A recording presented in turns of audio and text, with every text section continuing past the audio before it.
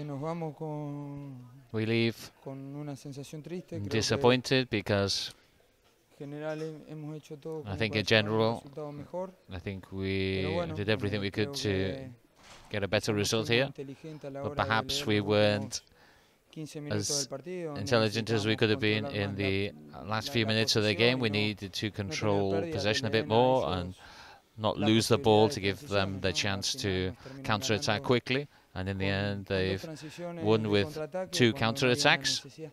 Por eso la sensación de The feeling that you have eh, is a- amarga con bittersweet because porque creo que hemos hecho 70 minutos muy we played really well for controlamos, 70 nos tuvimos minutes. I think we had the better chances, y- inclusive nos pusimos por delante. and Eh, then we even went ahead. But es algo donde nos tiene que, que hacer but I think it's something that should help us grow and improve. Hay que seguir We have to continue as we have Eh, been up to now.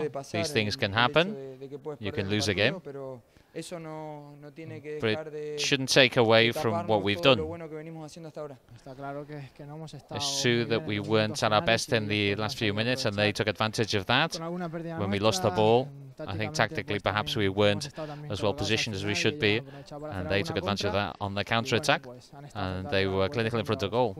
Puntos. Si antes decíamos que había liga, pues ahora If before we said there was a, a league teniendo un margen title battle, then there's a quedan n- muchos bigger one now, but there's still a long way to go. There's still tough matches coming ahead, pues, la liga se decidirá and the league will be decided at the end. no- sabíamos que We no íbamos a knew we weren't going to be champions early with five games to go.